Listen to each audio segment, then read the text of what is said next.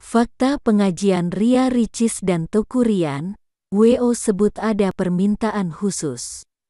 Pasangan Ria Ricis dan Teguh Rian menggelar acara pengajian sebelum pernikahan.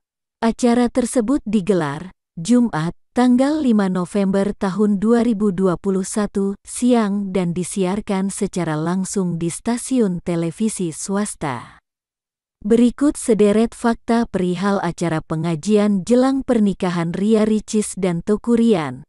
Permintaan khusus dari calon pengantin Bixen mengungkapkan, ada beberapa permintaan dari Ria Ricis untuk acara pengajiannya kali ini. Dikarenakan dalam acara pengajian juga harus berkolaborasi dengan keluarga serta pihak televisi. Ada pastinya permintaan konsep, karena juga melibatkan beberapa elemen dari keluarga, kata Bixen. Selain itu ada tambahan juga dari pihak TV, jadi kolaborasi sih. Diharapkan pengajian ini bisa hikmat dan menghibur bagi penonton, tuturnya. Konsep didominasi biru dengan dekorasi sederhana pada acara pengajian. Bixen menerangkan Ria Ricis ingin ruangan didekor dengan dominasi biru.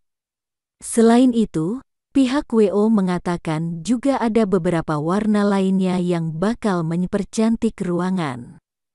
Melalui Instagram at TV, Ria Ricis serta keluarga terlihat mengenakan pakaian biru muda.